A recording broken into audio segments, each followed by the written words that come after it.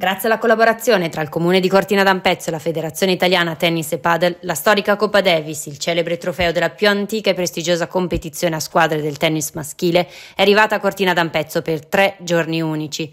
Il tour cortinese della Coppa Davis è iniziato questa mattina a Cimatofana, una delle vette più iconiche delle Dolomiti, offrendo una cornice spettacolare a residenti e turisti. Fa parte del, di un tour, di un trophy tour che noi facciamo in tutta, in tutta, Italia. Qua in Veneto appunto la portiamo a Cortina e fra due giorni sarà posta nella eh, stazione di Jesolo.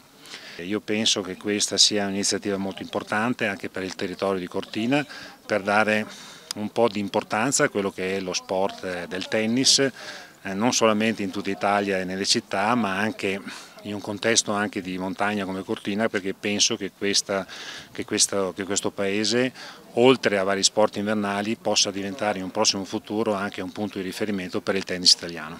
Un'occasione unica per ammirare da vicino questo simbolico trofeo, uno dei più iconici della storia dello sport che dopo 47 anni torna in Italia.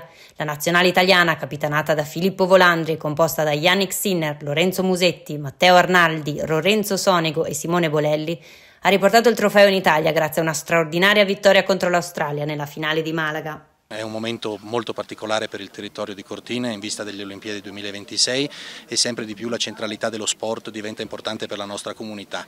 Sport sia invernale che estivo, lo vediamo anche durante questa stagione tra gli eventi nazionali e internazionali che ospitiamo sia durante il periodo estivo che invernale. Questa è la ciliegina sulla torta di un orgoglio nazionale. Da stasera fino al mattino del 16 agosto la Coppa Davis sarà spostata e visibile in Casa Fondazione Cortina, situata in Corso Italia vicino all'Info Point Regione Veneto.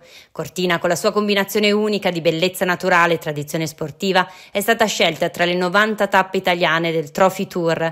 Dopo la tappa Cortina, la Coppa Davis continuerà il suo viaggio attraverso l'Italia, concludendo il suo tour all'Unipol Arena di Bologna a settembre. Il nostro diciamo, obiettivo, e siamo molto orgogliosi di questo, è di creare una collaborazione con il Comune e l'Associazione Albergatori e tutti gli enti e la federazione per far sì che il tennis diventi per Cortina un punto importante, una, un punto di prestigio anche per le Dolomiti e dove sia possibile che tutti possano accedere allo sport del tennis.